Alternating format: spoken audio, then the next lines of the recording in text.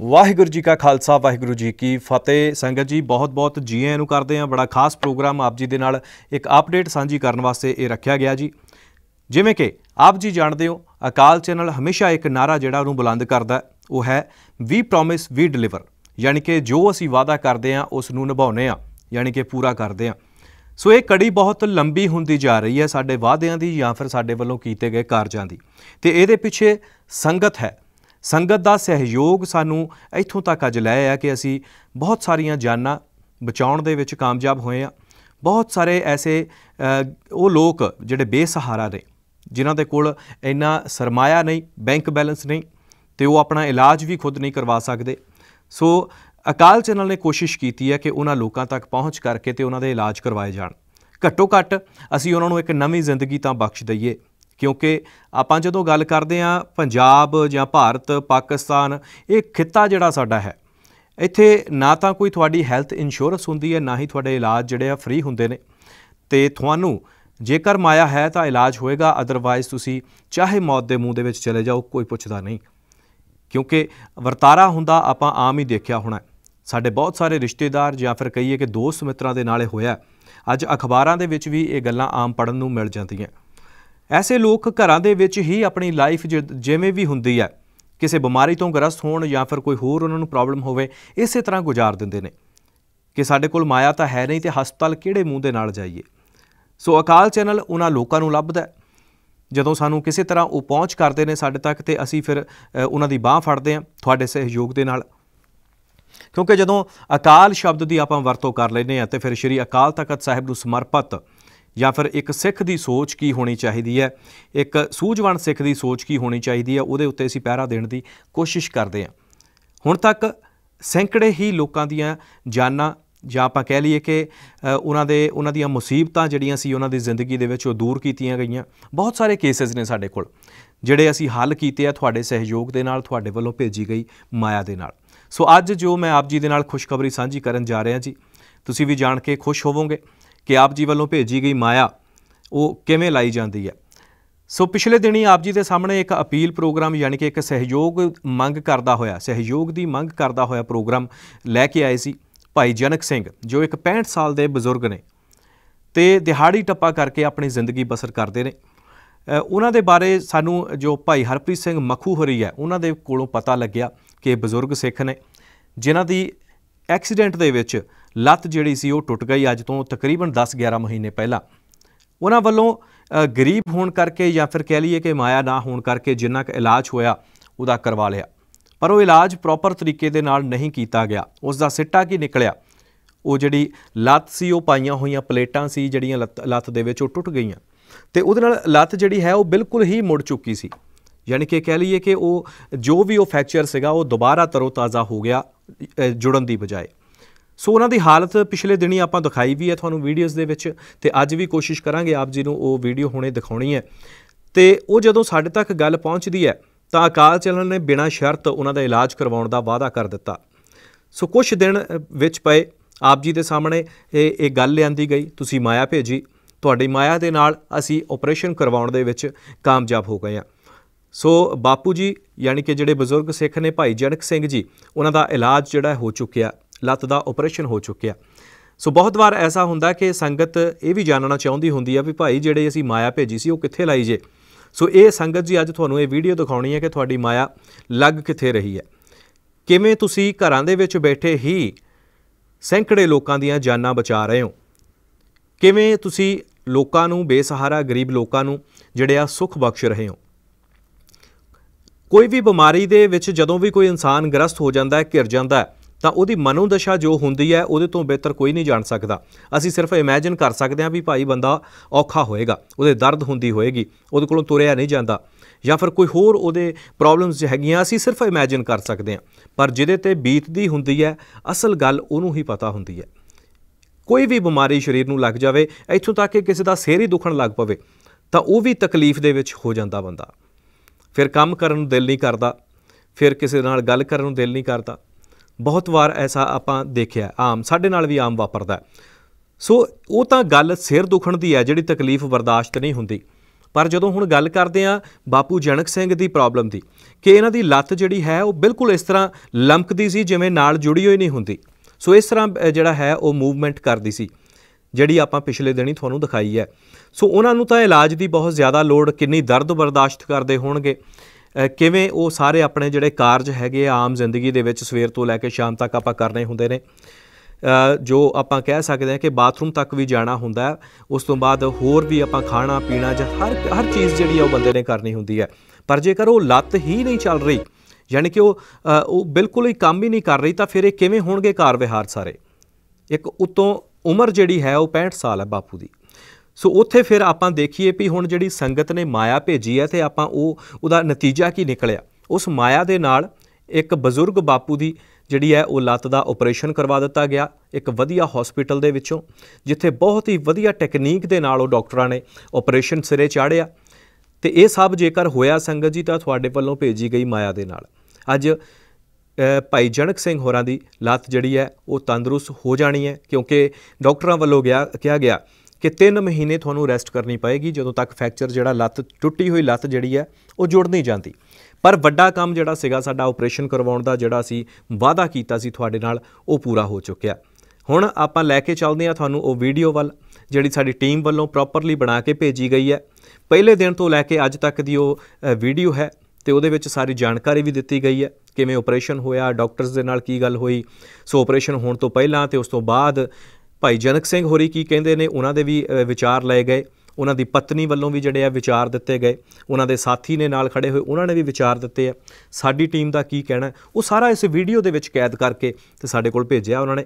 ਦੇਖਦੇ ਹਾਂ ਆਪਾਂ ਵੀਡੀਓ, ਫਿਰ ਪ੍ਰੋਗਰਾਮ ਦੀ ਸਮਾਪਤੀ ਕਰਾਂਗੇ ਤੇ ਇੱਕ ਗੱਲ ਵੀਡੀਓ ਤੇ ਜਾਣ ਤੋਂ ਪਹਿਲਾਂ, ਕਿ ਆਪ ਜੀ ਨੂੰ ਵੀ ਮਾਣ ਮਹਿਸੂਸ ਹੋਏਗਾ ਕਿ ਜਿਹੜੇ ਤੁਸੀਂ 5 ਪੌਂਡ 10 ਪੌਂਡ 50 100 500 ਪਾਉਂਡ ਜਿਹੜਾ ਇਸ ਇਲਾਜ ਵਾਸਤੇ ਭੇਜਿਆ ਸੀ, ਉਹ ਕਿੱਥੇ ਲੱਗਿਆ? ਬਖੂਬੀ ਇਸ ਵੀਡੀਓ ਦੇ ਵਿੱਚ ਤੁਸੀਂ ਦੇਖ ਸਕਦੇ ਹੋ ਤੇ ਅਕਾਲ ਚੈਨਲ ਨਾਲ ਜੁੜਿਆ ਹੋਇਆਂ ਨੂੰ ਮਾਣ ਮਹਿਸੂਸ ਹੋਏਗਾ ਕਿ ਅਸੀਂ ਐਸੇ ਸਿੱਖ ਮੀਡੀਆ ਦੇ ਨਾਲ ਜੁੜੇ ਹੋਏ ਹਾਂ, ਜਿਹੜਾ ਸਿਰਫ ਖਬਰਾਂ ਦਿਖਾਉਣ ਤੱਕ ਸੀਮਤ ਨਹੀਂ, ਸਿਰਫ ਕੀਰਤਨ ਸਮਾਗਮ ਦਿਖਾਉਣ ਤੱਕ ਸੀਮਤ ਨਹੀਂ ਗਰਾਊਂਡ ਲੈਵਲ ਦੇ ਉੱਤੇ ਜਾ ਕੇ ਸੇਵਾਵਾਂ ਵੀ ਕਰਦਾ ਮਾਣ ਮਹਿਸੂਸ ਹੋਏਗਾ। ਦੇਖਦੇ ਹਾਂ ਆਹ ਵੀਡੀਓ ਕਲਿੱਪ ਤੇ ਉਹ ਸਾਰਾ ਜਿਹੜਾ ਖਰਚਾ ਆ, ਉਹ ਅਕਾਲ ਚੈਨਲ ਵੱਲੋਂ ਕੀਤਾ ਜਾਵੇਗਾ। ਕੀ ਕਹਿਣਾ ਚਾਹੁੰਦੇ ਹੋ ਜੀ? ਹਾਂਜੀ ਮੈਂ ਤਾਂ ਬਹੁਤ ਖੁਸ਼ ਹਾਂ ਜੀ, ਮੈਂ ਤਾਂ ਬਹੁਤ ਮੇਰਾ ਮਹਾਰਾਜ ਸੱਚੇ ਪਾਤਸ਼ਾਹ ਮੈਨੂੰ ਤੁਰਨ ਜੋਗਾ ਹੋ ਜਾਏ ਮੈਂ ਬਹੁਤ ਮੇਰਾ ਮਨ ਖੁਸ਼ ਹੋ ਜਾਏਗਾ ਜੀ। ਮੈਂ ਤਾਂ ਤੁਹਾਡਾ ਗੁਣ ਸਾਰੀ ਉਮਰਾਂ ਨਾਲ ਭੁੱਲਾਂਗਾ ਜੀ।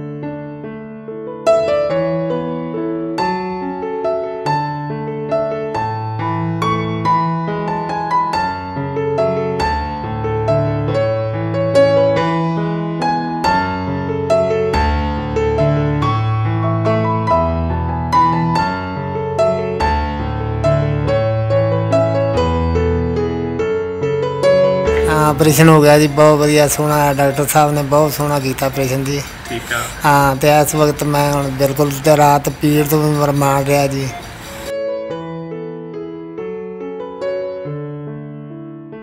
ਇੱਕ ਸੇਵਾ ਜਿਹੜੀ ਕਿ ਸ਼ੁਰੂਆਤ ਕੀਤੀ ਗਈ ਸੀ ਉਸ ਤੋਂ ਬਾਅਦ ਦੇ ਵਿੱਚ ਅੱਜ ਉਹਨਾਂ ਨੂੰ ਹਸਪੀਟਲ ਛੁੱਟੀ ਮਿਲਣੀ ਆ। ਮੈਂ ਗੱਲ ਕਰ ਰਿਹਾ ਬਾਪੂ ਜਨਕ ਸਿੰਘ ਦੀ ਨਾਲ ਹੀ ਹੈਗੇ ਆ ਸਾਡੇ।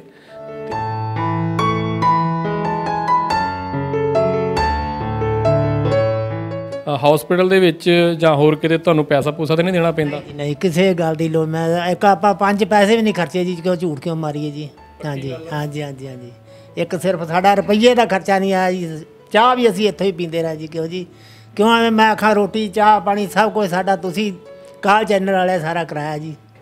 ਮੈਂ ਇਹ ਇਹਨਾਂ ਦੇ ਪਰਿਵਾਰ ਵੱਲੋਂ ਤੇ ਆਪਣੇ ਵੱਲੋਂ ਤੁਹਾਡਾ ਬਹੁਤ ਰਿਣੀ ਆ ਅਕਾਲ ਚੈਨਲ ਦਾ ਰਿਣੀ ਆ ਜਿਨ੍ਹਾਂ ਨੇ ਇੰਨੀ ਮਤਲਬ ਕਿ ਹਿੰਮਤ ਦੇ ਨਾਲ ਇਹਨਾਂ ਦਾ ਆਪਰੇਸ਼ਨ ਕਰਵਾਇਆ ਹੈ ਔਰ ਇਹਨਾਂ ਦੀ ਹੁਣ ਤੰਦਰੁਸਤੀ ਹੋਵੇਗੀ।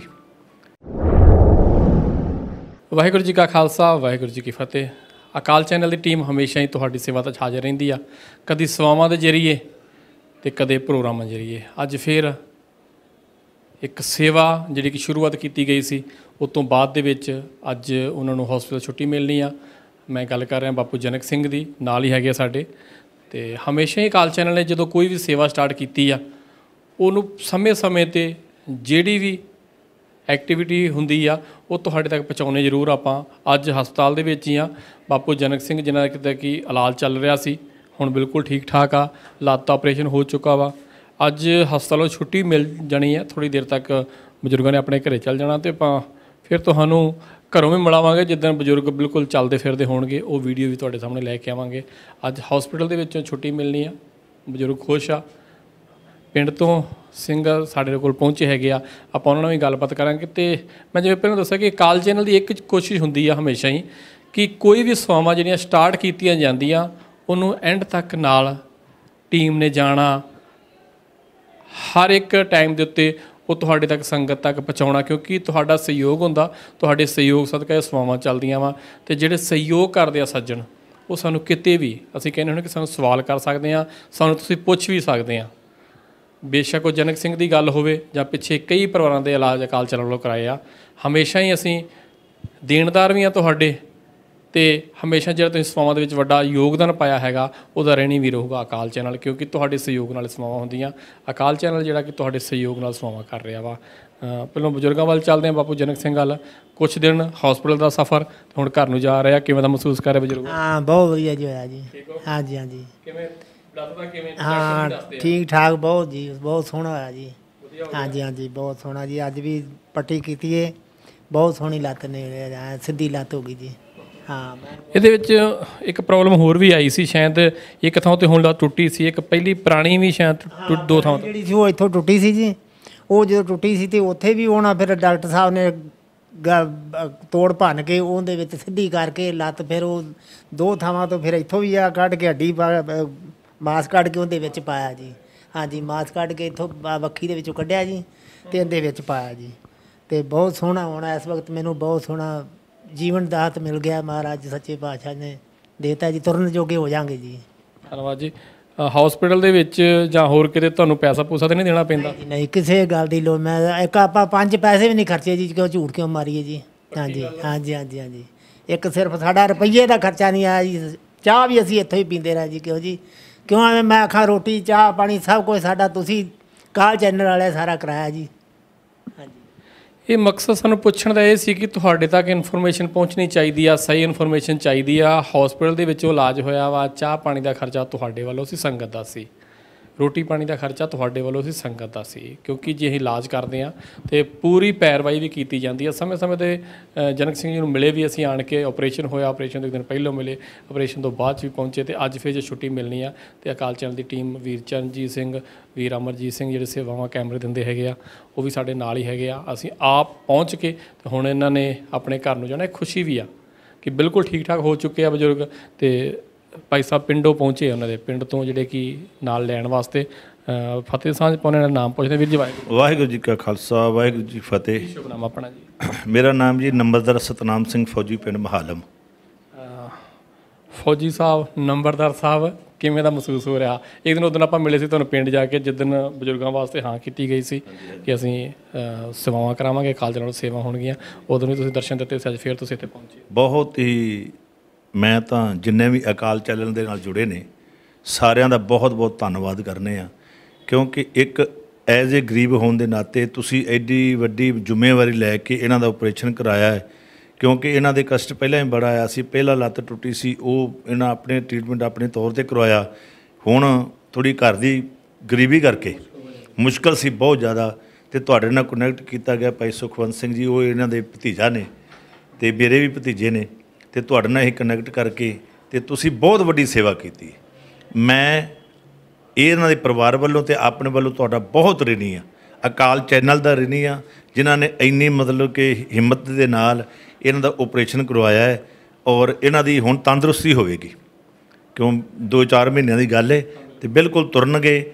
ਤੇ ਅਸੀਂ ਤਾਂ ਸੱਚੇ ਪਾਤਸ਼ਾਹ ਧੰਨ ਗੁਰੂ ਗ੍ਰੰਥ ਸਾਹਿਬ ਜੀ ਮਹਾਰਾਜ ਅੱਗੇ ਇਹ ਬੇਨਤੀ ਕਰਨੇ ਆ ਕਿ ਸੱਚੇ ਪਾਤਸ਼ਾਹ ਜੀ, ਇਹਨਾਂ ਨੂੰ ਤੰਦਰੁਸਤੀ ਬਖਸ਼ਿਸ਼ ਕਰਨ ਤੇ ਤੁਹਾਨੂੰ ਅਕਾਲ ਚੈਨਲ ਨੂੰ ਦਿਨ ਦੁਗਣੀ, ਰਾਤ ਚੌਗਣੀ ਤਰੱਕੀ ਸੱਚੇ ਪਾਤਸ਼ਾਹ ਜੀ ਬਖਸ਼ਿਸ਼ ਕਰਨ ਔਰ ਤੁਸੀਂ ਇਸੇ ਤਰ੍ਹਾਂ ਹੀ ਗਰੀਬਾਂ ਦੀ ਸਹਾਇਤਾ, ਜੋ ਸੇਵਾਵਾਂ ਨੇ, ਜਿਵੇਂ ਤੁਹਾਡੀਆਂ ਪਿੱਛੇ ਚੱਲ ਰਹੀਆਂ ਨੇ ਔਰ ਆਉਣ ਵਾਲੇ ਸਮੇਂ ਦੇ ਵਿੱਚ ਵੀ ਇਸੇ ਤਰ੍ਹਾਂ ਹੀ ਸੰਗਤਾਂ ਦੇ ਸਹਿਯੋਗ ਦੇ ਨਾਲ ਜੋ ਵੀ ਐਨ ਆਰ ਆਈ ਵੀਰ ਨੇ ਜਾਂ ਹੋਰ ਵੀ ਦਾਨੀ ਸੱਜਣ ਡੋਨੇਸ਼ਨ ਡੋਨੇਟਰ ਬਹੁਤ ਨੇ, ਉਹ ਵੀ ਤੁਹਾਡੇ ਨਾਲ ਕੋਈ ਰਾਬਤਾ ਕਰਕੇ ਇਸੇ ਤਰ੍ਹਾਂ ਹੀ ਜੋ ਇਸ ਗਰੀਬ ਤਬਕੇ ਦੀਆਂ ਜੋ ਜ਼ਰੂਰਤਾਂ ਨੇ, ਉਹਨਾਂ ਦਾ ਇਲਾਜ ਉਹ ਕਰਾਉਂਦਾ ਰਹੇ ਮੈਂ ਬਹੁਤ ਬਹੁਤ ਰਿਣੀ ਹਾਂ ਧੰਨਵਾਦ ਹਾਂ ਤਹਿ ਦਿਲੋਂ ਧੰਨਵਾਦ ਤੁਹਾਡਾ ਔਰ ਤੁਹਾਡੇ ਸਾਰੇ ਅਕਾਲ ਚੈਨਲ ਦਾ, ਜਿਨ੍ਹਾਂ ਨੇ ਸਮੇਂ-ਸਮੇਂ ਸਿਰ ਆ ਕੇ ਜਦੋਂ ਦੇ ਐਡਮਿਟ ਕੀਤੇ ਨੇ, ਤੁਸੀਂ ਤਿੰਨ ਚਾਰ ਚੱਕਰ ਮਾਰੇ ਨੇ ਘੱਟੋ ਘੱਟ।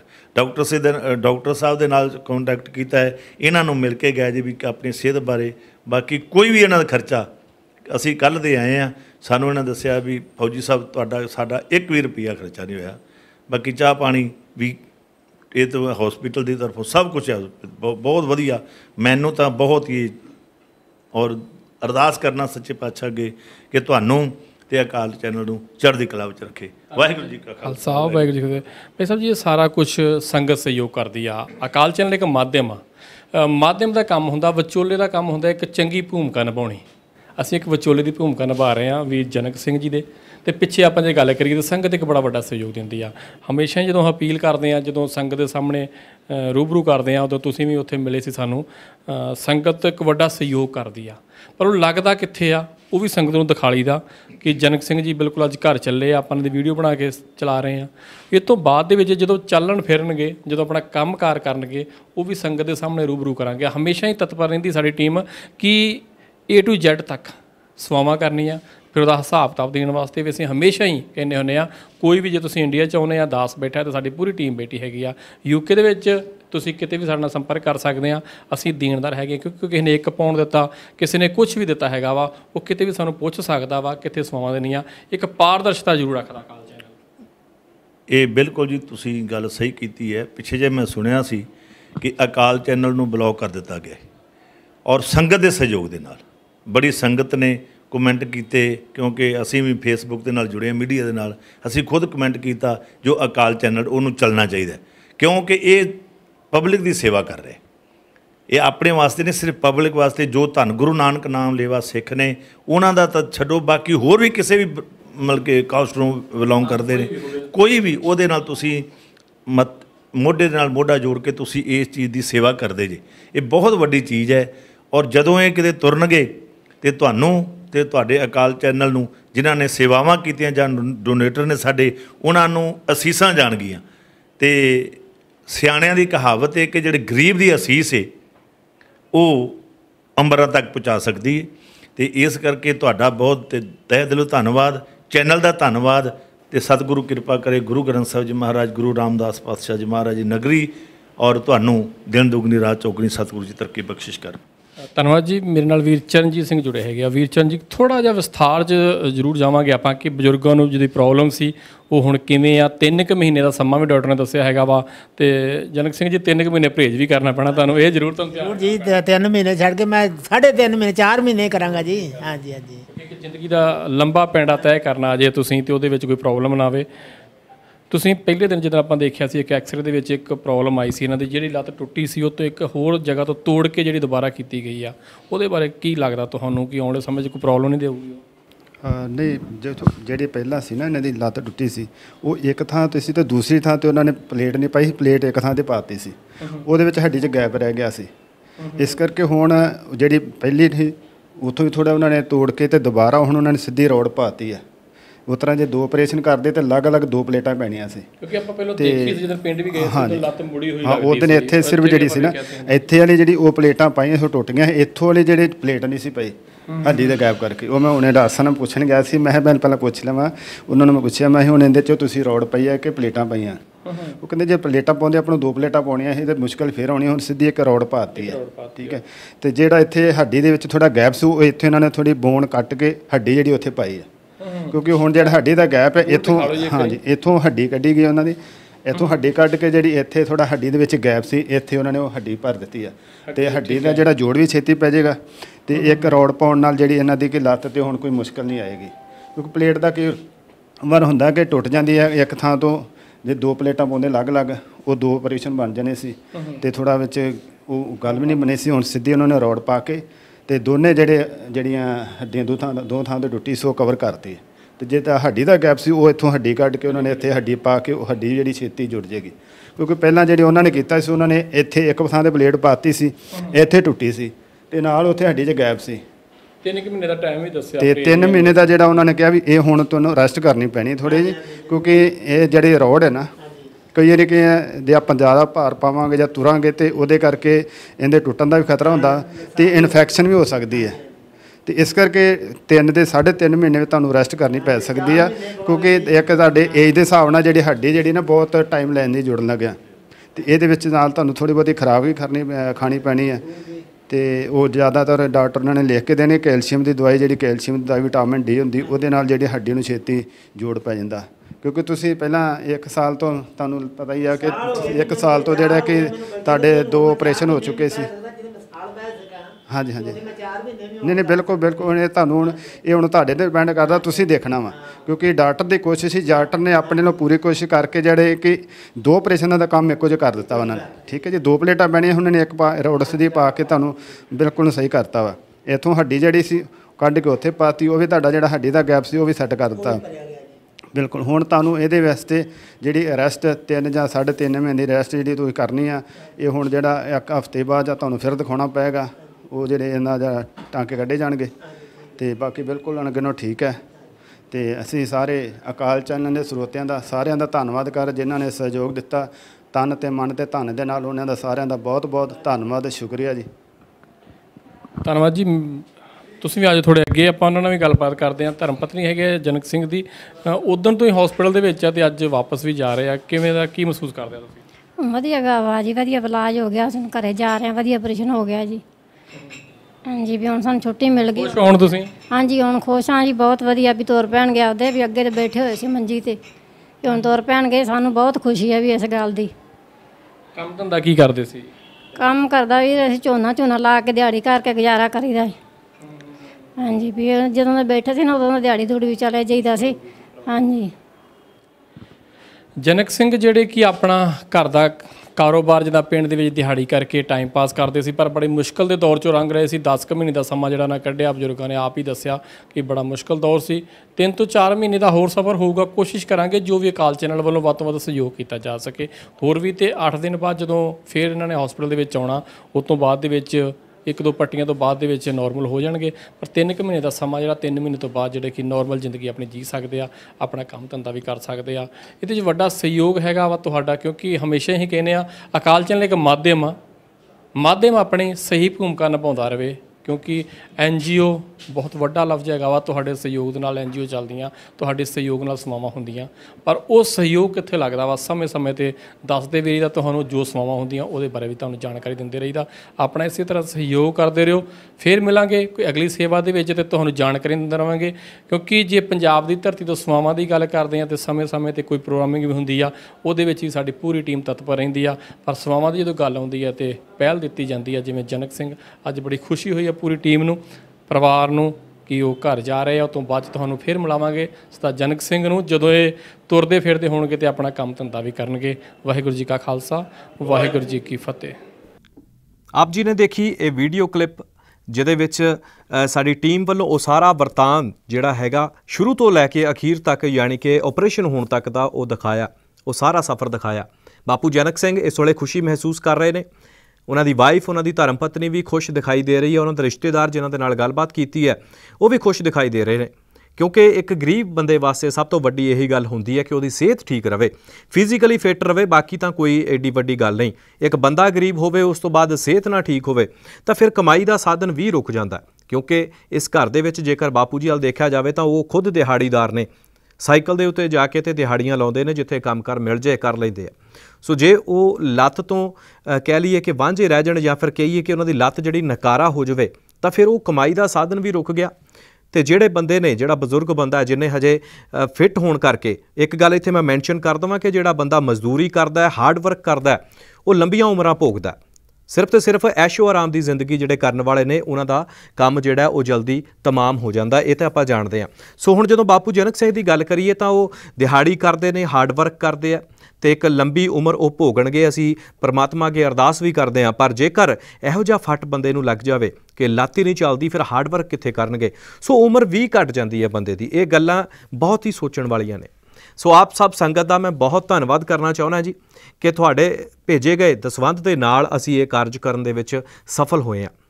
ਜਨਕ ਸਿੰਘ ਹੋਰਾਂ ਦਾ ਜਿਹੜਾ ਇਲਾਜ ਕਰਵਾ ਦਿੱਤਾ ਗਿਆ, ਉਹਨਾਂ ਦੀ ਲੱਤ ਦੁਬਾਰਾ ਜਿਹੜੀ ਹੈ ਉਹ ਠੀਕ ਕਰਕੇ ਜੋੜ ਦਿੱਤੀ ਗਈ ਹੈ ਡਾਕਟਰਾਂ ਵੱਲੋਂ, ਜਿਵੇਂ ਉਹ ਆਪਰੇਸ਼ਨ ਕਰਦੇ ਨੇ, ਉਹਨਾਂ ਨੂੰ ਪਤਾ ਹੈ ਖਾਸ ਖਾਸ ਤੌਰ ਤੇ ਆਪਾਂ ਕਹੀਏ ਕਿ ਵੀਡੀਓ ਦੇ ਵਿੱਚ ਵੀ ਤੁਸੀਂ ਭਲੀ ਭਾਂਤ ਸੁਣ ਲਿਆ ਹੋਣਾ ਕਿਵੇਂ ਕਿਵੇਂ ਇਹ ਆਪਰੇਸ਼ਨ ਕੀਤਾ ਗਿਆ। ਸਾਡੇ ਜਿਹੜੇ ਇੱਕ ਟੀਮ ਮੈਂਬਰ ਹੈਗੇ ਆ ਭਾਈ ਚਰਨਜੀਤ ਸਿੰਘ, ਉਹਨਾਂ ਵੱਲੋਂ ਵੀ ਆਪ ਜੀ ਨੂੰ ਬਖੂਬੀ ਤਰੀਕੇ ਦੇ ਨਾਲ ਦੱਸਿਆ ਗਿਆ, ਬਾਪੂ ਜੀ ਨੂੰ ਸਲਾਹਾਂ ਵੀ ਦਿੱਤੀਆਂ ਗਈਆਂ। ਸੋ 3 3.5 ਮਹੀਨੇ ਉਹਨਾਂ ਵੱਲੋਂ ਕਿਹਾ ਗਿਆ ਕਿ ਤੁਸੀਂ ਆਰਾਮ ਰੱਖਣਾ, ਯਾਨੀ ਕਿ ਬਿਸਤਰੇ ਤੇ ਰਹਿਣਾ ਮਤਲਬ ਕਿ ਇਹ ਨਾ ਹੋਵੇ ਕਿ ਤੁਰਦੇ ਫਿਰਦੇ ਰਹੋ ਤੇ ਉਹ ਫੇਰ ਕੰਮ ਖਰਾਬ ਹੋ ਜਾਵੇ। ਸੋ 3 ਮਹੀਨੇ ਰੈਸਟ ਕਰਨੀ ਪਏਗੀ, ਉਸ ਤੋਂ ਬਾਅਦ ਉਹ ਦੁਬਾਰਾ ਜਿਹੜੇ ਆ ਤੰਦਰੁਸਤ ਹੋ ਕੇ ਚੱਲ ਫਿਰ ਸਕਣਗੇ। ਸੋ ਇਹਨਾਂ 3 ਮਹੀਨਿਆਂ ਦੇ ਵਿੱਚ ਉਹਨਾਂ ਦਾ ਖਿਆਲ ਰੱਖਿਆ ਜਾਵੇਗਾ ਸਾਡੀ ਟੀਮ ਵੱਲੋਂ। ਤੇ ਜਦੋਂ ਜਦੋਂ ਵੀ ਉਹਨਾਂ ਨੂੰ ਦੁਬਾਰਾ ਹਸਪਤਾਲ ਆਉਣਾ ਹੈ ਉਹਨਾਂ ਨੂੰ ਲਿਆਂਦਾ ਜਾਵੇਗਾ, ਫਿਰ ਚੈੱਕਅਪ ਕਰਵਾ ਕੇ ਦੁਬਾਰਾ ਛੱਡ ਕੇ ਆਇਆ ਜਾਵੇਗਾ। ਇਹ ਸਾਡੀ ਟੀਮ ਦੀ ਜ਼ਿੰਮੇਵਾਰੀ ਹੋਏਗੀ। ਕਿਉਂਕਿ ਸਾਡੀ ਟੀਮ ਦੇ ਉੱਤੇ ਤੁਸੀਂ ਭਰੋਸਾ ਕਰਦੇ ਹੋ, ਅਕਾਲ ਚੈਨਲ ਦੇ ਉੱਤੇ ਤੁਸੀਂ ਭਰੋਸਾ ਕਰਦੇ ਹੋ। ਸੋ ਤੁਸੀਂ ਦਸਵੰਧ ਭੇਜਦੇ ਹੋ, ਸਾਡੀ ਟੀਮ ਕੰਮ ਕਰਦੀ ਹੈ। ਇਸੇ ਤਰ੍ਹਾਂ ਸਾਡੇ ਨਾਲ ਤੁਸੀਂ ਜੁੜੇ ਰਹਿਣਾ। ਆਉਣ ਵਾਲੇ ਸਮੇਂ ਦੇ ਵਿੱਚ ਬਹੁਤ ਸਾਰੇ ਐਸੇ ਕਾਰਜ ਨੇ ਕਰਨ ਵਾਲੇ, ਜੋ ਕਿ ਤੁਹਾਡੇ ਭੇਜੇ ਗਏ ਦਸਵੰਧ ਦੇ ਨਾਲ ਹੀ ਨਿਪਰੇ ਚਾੜੇ ਜਾਣੇ ਨੇ। ਸੰਗਤ ਨਾਲ ਰਹੇਗੀ, ਤਾਂ ਆਪਾਂ ਇਹ ਸੇਵਾਵਾਂ ਜਿਹੜੀਆਂ ਅੱਗੇ ਤੱਕ ਕਰਦੇ ਜਾਵਾਂਗੇ। ਜਿੱਥੇ ਤੁਸੀਂ ਅੱਜ ਤੱਕ ਸਾਡੇ ਨਾਲ ਸੇਵਾਵਾਂ ਨਿਭਾਉਂਦੇ ਆਏ ਹੋ, ਇਹੋ ਜਿਹੇ ਬਹੁਤ ਸਾਰੇ ਇਲਾਜ ਕਰਵਾਏ ਨੇ। ਤੇ ਅਸੀਂ ਬੇਨਤੀ ਕਰਦੇ ਹਾਂ ਤੇ ਇੱਕ ਆਸ ਵੀ ਕਰਦੇ ਹਾਂ ਆਪ ਜੀ ਦੇ ਕੋਲੋਂ ਕਿ ਤੁਸੀਂ ਇਸੇ ਤਰ੍ਹਾਂ ਹਮੇਸ਼ਾ ਜਦੋਂ ਤੱਕ ਅਕਾਲ ਚੈਨਲ ਦੀ ਹੋਂਦ ਰਹੇਗੀ, ਤੇ ਆਪ ਜੀ ਇਸੇ ਤਰ੍ਹਾਂ ਸਾਡੇ ਨਾਲ ਜੁੜੇ ਰਹੋਗੇ। ਆਪਣੀਆਂ ਸੇਵਾਵਾਂ ਜਿਹੜੀਆਂ ਅਕਾਲ ਚੈਨਲ ਨੂੰ ਭੇਜਦੇ ਰਹੋਗੇ, ਕਿਉਂਕਿ ਅਕਾਲ ਚੈਨਲ ਜਦੋਂ ਵੀ ਕੋਈ ਸੇਵਾਵਾਂ ਕਰਦਾ, ਸਾਰਾ ਕੁਝ ਟਰਾਂਸਪੇਰੈਂਟ ਤਰੀਕੇ ਨਾਲ ਕਰਦੇ ਆ ਪਾਰਦਰਸ਼ੀ ਹੁੰਦਾ ਕੁਝ ਵੀ ਲੁਕਾ ਛੁਪਾ ਇਹਦੇ ਵਿੱਚ ਨਹੀਂ ਹੁੰਦਾ। ਆਪ ਜੀ ਨੂੰ ਦੱਸਿਆ ਜਾਂਦਾ ਕਿ ਆ ਇਲਾਜ ਕਰਵਾਉਣ ਵਾਲਾ ਹੈ। ਤੇ ਜਿਸ ਦੇ ਵੇਲੇ ਇਲਾਜ ਹੋ ਜਾਂਦਾ, ਫਿਰ ਵੀ ਤੁਹਾਨੂੰ ਦਿਖਾਇਆ ਜਾਂਦਾ ਵੀ ਤੁਹਾਡੇ ਵੱਲੋਂ ਭੇਜੀ ਗਈ ਮਾਇਆ ਦੇ ਨਾਲ ਇਹ ਇਲਾਜ ਕੀਤਾ ਗਿਆ। ਸੰਗਤ ਜੀ, ਮਾਇਆ ਸੰਗਤ ਨੂੰ ਕਹਿ ਦਿੱਤਾ ਜਾਂਦਾ ਵੀ ਤੁਸੀਂ ਭੇਜੋ ਤੇ ਅਸੀਂ ਇਲਾਜ ਕਰਵਾਈਏ। ਜੇਕਰ ਮਾਇਆ ਉਨੀ ਨਹੀਂ ਵੀ ਹੁੰਦੀ ਤਾਂ ਅਕਾਲ ਚੈਨਲ ਆਪਣੀ ਜੇਬ ਦੇ ਵਿੱਚੋਂ ਉਹ ਮਾਇਆ ਜਿਹੜੀ ਹੈ ਪੂਰੀ ਕਰਕੇ ਤੇ ਇਲਾਜ ਕਰਵਾਉਂਦਾ ਹੈ। ਇਹ ਸਾਡਾ ਵਾਅਦਾ ਹੈ ਕਿਉਂਕਿ ਅਸੀਂ ਇੱਕ ਇੱਕੋ ਇੱਕ ਵਾਅਦਾ ਜਿਹੜਾ ਕੀਤਾ ਹੋਇਆ ਵੀ ਪ੍ਰੋਮਿਸ ਵੀ ਡਿਲੀਵਰ ਮਤਲਬ ਕਿ ਜਿਹੜੀ ਗੱਲ ਇੱਕ ਵਾਰ ਕਹਿ ਦਿੱਤੀ, ਉਹਨੂੰ ਆਪਾਂ ਨੇਪਰੇ ਚਾੜਾਂਗੇ। ਅੱਧ ਵਿਚਕਾਰ ਅੱਜ ਤੱਕ ਨਹੀਂ ਕਿਸੇ ਨੂੰ ਛੱਡਿਆ ਗਿਆ ਕਿ ਇੱਕ ਵਾਰ ਸੰਗਤ ਦੇ ਸਾਹਮਣੇ ਕੋਈ ਗੱਲ ਰੱਖ ਦਿੱਤੀ ਹੈ ਤੇ ਉਸ ਨੂੰ ਵਿਚਕਾਰ ਹੀ ਛੱਡ ਦਿੱਤਾ ਹੋਵੇ, ਇਲਾਜ ਨਾ ਕਰਵਾਇਆ ਹੋਵੇ, ਅਧੂਰਾ ਰਹਿ ਗਿਆ ਹੋਵੇ, ਕੋਈ ਵੀ ਕੰਮ ਹੋਵੇ। ਸੋ ਇਸ ਤਰ੍ਹਾਂ ਕਦੇ ਨਹੀਂ ਹੋਣ ਦਿੱਤਾ ਗਿਆ। ਇਹ ਸਭ ਉਸ ਅਕਾਲ ਪੁਰਖ ਦੀ ਕਿਰਪਾ ਹੈ, ਉਸ ਦੀ ਮਿਹਰ ਹੈ। ਵੈਸੇ ਵੀ ਇੱਕ ਸਿੱਖ ਦੀ ਜ਼ੁਬਾਨ ਜਿਹੜੀ ਹੁੰਦੀ ਹੈ, ਉਹ ਬੜੀ ਪੱਕੀ ਹੁੰਦੀ ਹੈ। ਅਸੀਂ ਜਿਹੜੇ ਆ ਸੌਹਾਂ ਨਹੀਂ ਖਾਂਦੇ, ਸਿੱਖਾਂ ਦੇ ਵਿੱਚ ਸਹੁੰ ਖਾਣੀ, ਕਸਮ ਖਾਣੀ ਇਹ ਚੀਜ਼ਾਂ ਜਿਹੜੀਆਂ ਨਹੀਂ ਹੈ ਸਿੱਖ ਸਿਰਫ ਵਾਅਦਾ ਕਰਦਾ ਹੈ ਤੇ ਜਿਹਨੂੰ ਨਿਭਾਉਂਦਾ ਵੀ ਹੈ ਸੋ ਅਕਾਲ ਚੈਨਲ ਵੀ ਇਸੇ ਹੀ ਪੂਰਨੇ ਦੇ ਚੱਲਦਾ ਜਿਹੜਾ ਉਹ ਅੱਗੇ ਵਧਦਾ ਜਾ ਰਿਹਾ। ਮੈਂ ਬੇਨਤੀ ਕਰਦਾ ਆਪ ਸਭ ਸੰਗਤ ਨੂੰ ਅਖੀਰ ਦੇ ਵਿੱਚ ਕਿ ਵੀ ਪ੍ਰੋਮਿਸ ਵੀ ਡਿਲੀਵਰ ਦਾ ਜਿਹੜਾ ਨਾਰਾ ਅਸੀਂ ਇੱਕ ਵਾਰ ਫਿਰ ਦੁਹਰਾ ਦਿੱਤਾ ਆਪ ਸਭ ਸੰਗਤ ਦਾ ਸਹਿਯੋਗ ਇਸੇ ਤਰ੍ਹਾਂ ਬਣਿਆ ਰਹੇਗਾ ਤੇ ਅਸੀਂ ਬਾਪੂ ਜਨਕ ਸਿੰਘ ਤੋਂ ਬਾਅਦ ਹੋਰ ਬਹੁਤ ਸਾਰੇ ਲੋਕ ਨੇ ਜਿਨ੍ਹਾਂ ਦੇ ਇਲਾਜ ਕਰਵਾਉਣੇ ਆ, ਕਈਆਂ ਨੂੰ ਘਰ ਬਣਵਾ ਕੇ ਦੇਣੇ ਨੇ। ਸਿਕਰੀਗਰ ਸਿੱਖਾਂ ਦੇ ਬਾਰੇ ਸੋਚਣਾ ਇਹ ਸਾਰਾ ਕੁਝ ਕਰਦੇ ਜਾਵਾਂਗੇ। ਸੰਗਤ ਜੇਕਰ ਸਹਿਯੋਗ ਆਪਣਾ ਭੇਜਦੀ ਰਹੇਗੀ। ਪ੍ਰੋਗਰਾਮ ਦੀ ਸਮਾਪਤੀ ਕਰਦੇ ਹਾਂ ਤੇ ਮਿਲਦੇ ਹਾਂ ਕਿਸੇ ਹੋਰ ਪ੍ਰੋਗਰਾਮ ਦੇ ਵਿੱਚ। ਤੁਸੀਂ ਅਕਾਲ ਚੈਨਲ ਇਸੇ ਤਰ੍ਹਾਂ ਦੇਖਦੇ ਰਹੋ। ਵਾਹਿਗੁਰੂ ਜੀ ਕਾ ਖਾਲਸਾ, ਵਾਹਿਗੁਰੂ ਜੀ ਕੀ ਫਤਿਹ ਜੀ।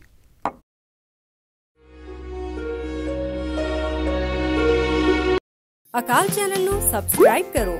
ਨਵੀਂ ਵੀਡੀਓਜ਼ ਦੀ ਨੋਟੀਫਿਕੇਸ਼ਨ ਦੇ ਲਈ ਬੈਲ ਆਈਕਨ ਨੂੰ ਕਲਿੱਕ ਕਰਨਾ ਨਾ ਭੁੱਲਣਾ।